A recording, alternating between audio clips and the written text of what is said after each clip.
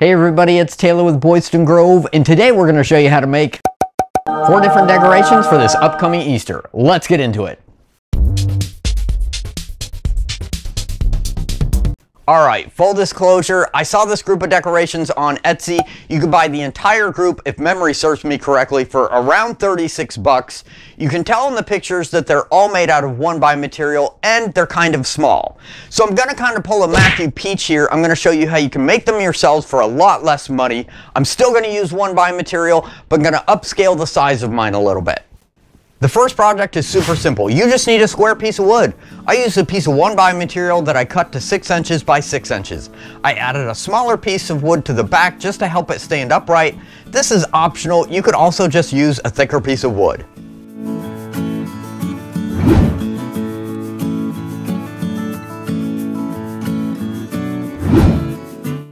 After staining one of them with dark stain, I drew out the design that I wanted and then went over it a few times with a paint pen.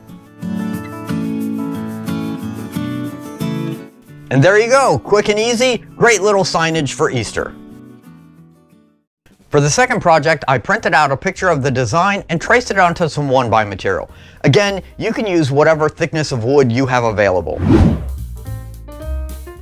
Then I used my scroll saw to cut it out. You could also use a jigsaw, a bandsaw, or a coping saw.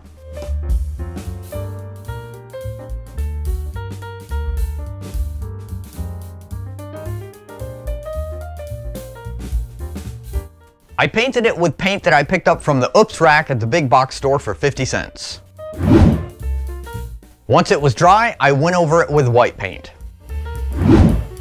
Then I sanded the edges with some rough sandpaper. The idea is that you get a little bit of that gray and a little bit of the wood coming back through, giving it a rustic or farm style look.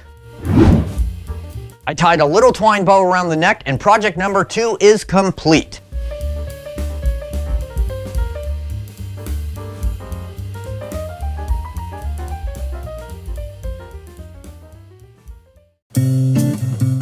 Project number three is very simple. You just need three pieces of one by material. After cutting the three pieces to length, I cut 45s on the end of each one of them to create the little house shape.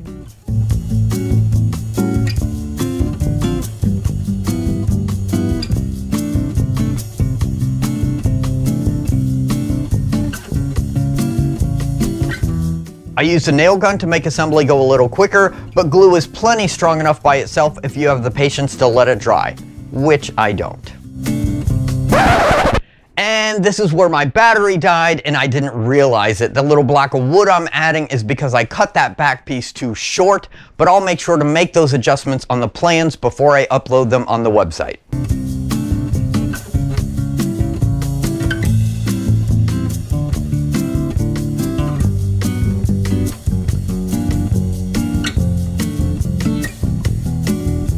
Just like the little angel, I painted it gray, then white,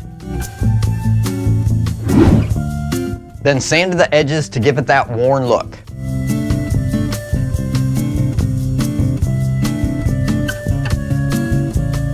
As a final touch, I used some paint pens to add some details.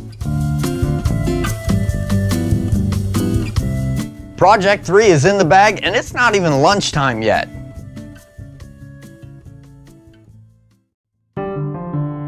Project number four is the most complex, but it's still pretty easy.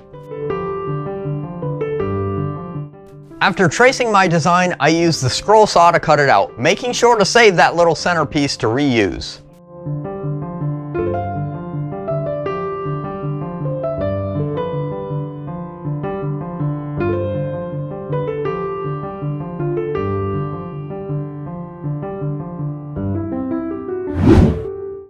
I use my router to put a heavy round over on the edges of one side, but this pine is so soft that you could do the same thing with a sander.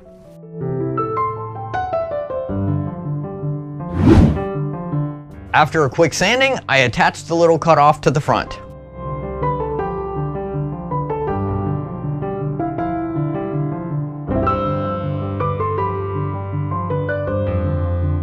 Then I gave it a quick coat of stain.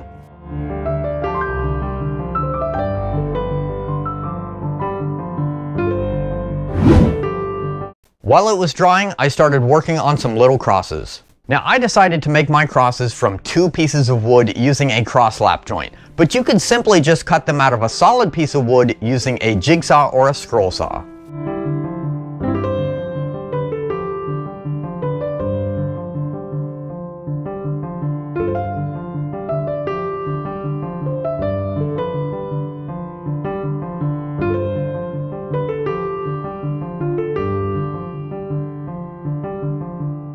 I attached the crosses with a pin nailer, but you could also glue them on or screw them in place with small screws.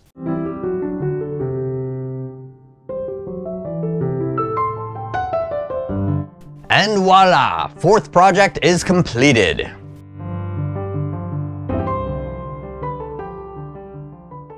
Alright, our four Easter decorations are finished.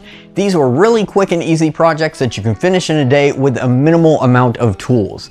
I went ahead and made an extra one of these signs. I just had the extra wood and I wanted to keep one natural. And on this one, I actually used an inkjet transfer on it. I have a full vid on how to do that. I'll leave a link in the description below. All of these items are not only great to decorate around your own home, but they also make great gifts or you can batch them out for your next craft sale. I will have templates and plans for all of these on our website, so make sure to hit the link below to head over there and print out a copy for yourself. We work on a new project every week, so make sure to subscribe and hit the notification bell. Thank you very much for watching, be safe, and have a great day.